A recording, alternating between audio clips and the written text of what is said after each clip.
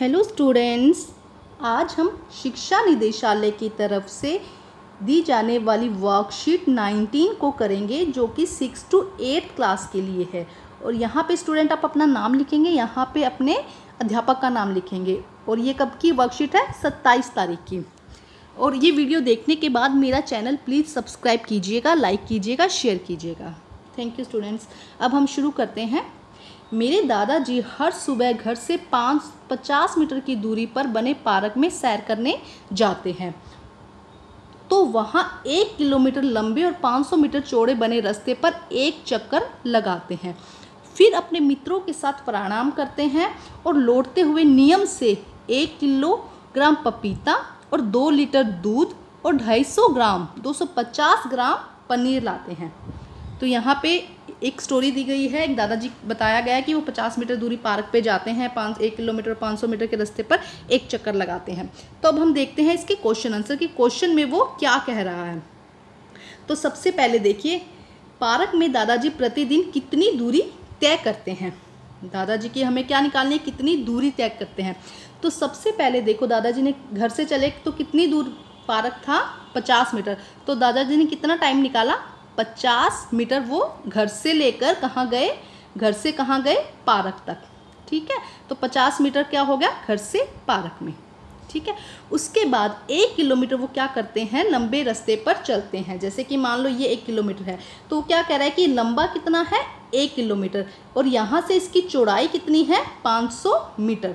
तो स्टूडेंट, यहाँ पे हम थोड़ा सा पहले मीटर एंड किलोमीटर के बारे में समझेंगे कि जब हज़ार किलोमीटर होते हैं सॉरी, हज़ार मीटर होते हैं तो वो एक किलोमीटर के बराबर होता है। जब हज़ार मीटर होते हैं तो वो क्या होता है? एक किलोमीटर के बराबर होता है। अब यहाँ पे देखिए वो क्या कहता है, वो एक किलोमीटर चलते हैं। चौड़े रास्ते पे कोई ऐसे तो नहीं चलेगा, वो तो सीधा ही जाएगा। तो वो, उन्होंने कितना रास्ता तय किया दादाजी ने अभी जाने के लिए? एक किलोमीटर। और हम जो यूनिट है, मात्रक है, वो किसमें यूज़ कर रहे हैं? मीटर में। तो हम क्या करेंगे, इस एक किलोमीटर को क्या कर देंगे? एक किलोमीटर को किसमें कन्वर्ट कर देंगे? हज़ार मीटर में। किसमें कन्वर्ट कर देंगे? हज़ार मीटर में। ये समझ में आया? अब दादाजी एक पहले इस तरफ़ गए हैं, अब वापस भी आएँगे उससे चलकर तो क्या होगा? एक हज़ार किलोमीटर फिर हो जाएगा। क्योंकि एक हज़ार मीटर हो गया, क्योंकि एक किलोमीटर वो गए हैं तो अपने घर की तरफ़ वापस लौटेंगे भी ना? तो एक हज़ार मीटर फिर आ गया। अब फिर वो अपने घर, पार्क से घर की तरफ़ जाएँगे। अब क्या होगा? पहले क्या था? घर से पार्क की तरफ़। अब पार्क से घर की तरफ़ फिर पचास मीटर। आपको सब समझ में आ रहा है बच्चे? पहले घर से पार्क की तरफ़ गए थे। अगर हम घर से पार्क की तरफ़ जाएँगे तो पार्क से वापस घर की तरफ़ भी आएँगे ना? तो उन्होंने कहा है कि कितनी दूरी तय करनी है तो पूरा रास्ता हम देखेंगे। तो अब हम इसे जोड़ते हैं, कितना आएगा? ज़ीरो, पाँच और पाँच क्या हो जाएँगे? दस हो जाएँगे। एक यहाँ पे क्या आ जाएगा? कैरी आ जाएगा तो यहाँ पे कितना हो जाएगा? एक और एक और एक दो। तो टोटल कितना रास्ता चले हैं वो? 2100 मीटर। कितना चले हैं टोटल? 2100 मीटर। तो यहाँ पे ये हमारा फ़र्स्ट क्वेश्चन समझ आ गया बच्चे आपको। अब हम नेक्स्ट क्वेश्चन करते हैं। प्रतिदिन पपीते और पनीर का कुल कितना वज़न उठाया है? दादाजी कितना वज़न उठाते हैं? तो अब यहाँ पे फिर हम बात करते हैं। जब हम बात करते हैं ग्राम की, और हम किसकी बात करते हैं यहाँ पे?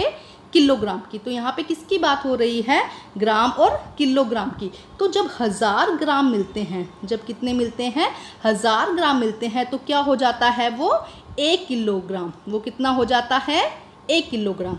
मेरी बात समझ में आई? जब हज़ार ग्राम मिलते हैं तो हज़ार ग्राम मिलते हैं तो उसको हम क्या कहते हैं? एक किलो। समझ में आया? आपके घरों में यूज़ करते होंगे कि एक किलो, दो किलो। तो अगर आपसे कोई पूछे कि इसके अंदर ग्राम कितने हैं तो क्या हो जाएगा? एक किलो में कितने ग्राम होते हैं? हज़ार। ऐसे ही दो किलो में कितने हो जाएँगे? दो हज़ार। ठीक है? अब हम क्वेश्चन पढ़ते हैं प्रतिदिन पनीर पपीते और पनीर का कुल कितना वज़न उठाया? तो पपीता कितना था? एक किलो। तो हम इसको किसमें चेंज करेंगे? ग्राम में। हम किसमें चेंज करेंगे? ग्राम में। तो पनीर कितना, सॉरी, ये पपीता कितना हो गया? हज़ार ग्राम। कितना हो गया? हज़ार ग्राम। उसके बाद वो पूछता है कि पनीर तो पनीर कितना है? 250 ग्राम। पनीर कितना हो गया? 250 ग्राम। तो अब हम इनको क्या कर देते हैं? जोड़ देते हैं, क्योंकि उन्होंने पूछा है कुल। तो हम जोड़ देंगे तो कितना आएगा? हम देखते हैं कितना आया। बारह एक हज़ार दो सौ पचास ग्राम। क्या आएगा? 1250 ग्राम। ये समझ में आया आप लोगों को कि टोटल उन्होंने कितना वज़न उठाया है तो कितना आ जाएगा? 1250 ग्राम। अब हम नेक्स्ट क्वेश्चन करते हैं स्टूडेंट्स देखिए इसमें क्या दिया गया है। उपरोक्त वर्णन में मापने की कौन कौन सी इकाइयाँ यूज़ की गई हैं? यहाँ पे भी आपने देखा कि अलग अलग इकाइयाँ यूज़ की गई थी। एक तो क्या यूज़ किया गया था? मीटर। एक क्या यूज़ किया गया था? मीटर। और मीटर से बड़ा क्या होता है? किलोमीटर। ये भी यूज़ किया गया था यहाँ पे। किलोमीटर भी यूज़ किया गया था। उसके बाद में सॉरी ये थोड़ा सा हट गया, मैं दोबारा बताती हूँ। तो फ़र्स्ट क्या आया? यहाँ पे उन्होंने क्या यूज़ किया? मीटर। ठीक है, उसके बाद क्या यूज़ किया? किलोमीटर। किलोमीटर। उसके बाद क्या यूज़ किया गया था यहाँ पे? ग्राम। हमने देखा था कि ग्राम और किलोग्राम। हमने अभी ये किया है, क्या यूज़ किया गया है? ग्राम और किलोग्राम। उसके अलावा एक और यहाँ पे यूज़ किया गया है लीटर। दूध किसमें आया था? लीटर में। ठीक है? तो अब मैं एक बार फिर बता देती हूँ कि एक मीटर सॉरी हज़ार मीटर किसमें किसमें बदल जाता है? क्या कहते हैं हज़ार मीटर को हम? किलोमीटर। और ऐसे ही हज़ार ग्राम को हम क्या कहते हैं? हज़ार ग्राम को हम क्या कहते हैं? किलोग्राम। ठीक है? ऐसे ही हज़ार मिलीलीटर को हम क्या कहेंगे? लीटर। तो ये तीनों टर्म ये सॉरी ये पाँचों टर्म यहाँ पे यूज़ की गई है। ठीक है? तो ये इसका आंसर हो जाएगा। इसके अतिरिक्त क्या आप अन्य मापने की इकाइयों को जानते हैं? तो हाँ इसमें हो जाएगा, क्या हो जाएगा? सेंटीमीटर हो जाएँगे या क्या हो जाएगा? मिलीलीटर हो जाएगा। ठीक है? तो आप वो भी लिख दीजिएगा। अब नेक्स्ट क्वेश्चन क्या है? क्या प्रतिदिन सैर सिर्फ़ दादाजी को करनी चाहिए? तो आप बताइए। नहीं, सैर हम सबको करनी चाहिए क्योंकि सैर करने से हमारा स्वास्थ्य ठीक रहता है। तो स्टूडेंट इसी के साथ हमारी वर्कशीट कंप्लीट होती है। अपनी वर्कशीट को कंप्लीट करके अपने टीचर से चेक करवाइए और मेरा चैनल प्लीज़ सब्सक्राइब कीजिए लाइक कीजिए शेयर कीजिए। Thank you